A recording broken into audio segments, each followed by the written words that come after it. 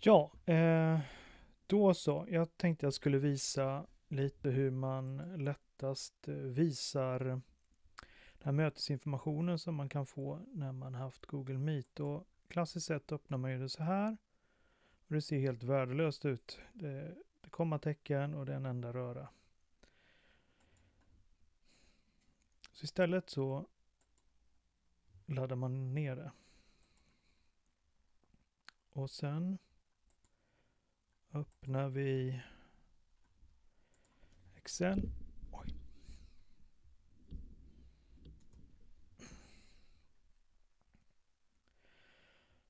Och eh,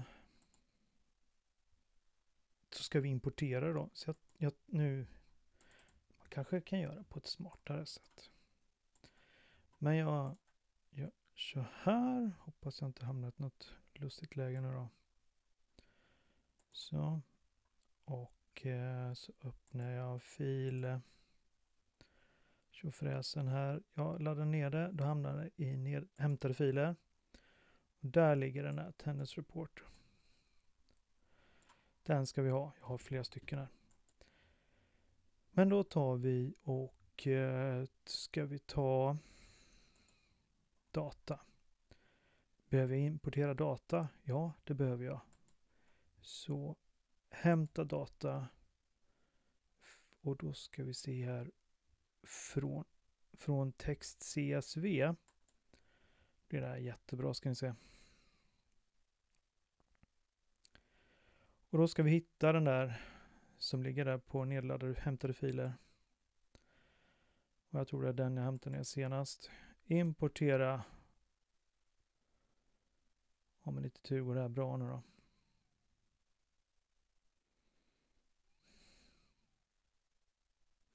Ja men titta, det var väl skillnad.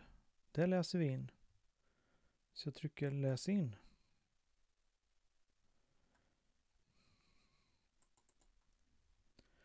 Och så här tjusigt blev det. Och nu går det ju att läsa på ett helt annat sätt än det gjorde innan.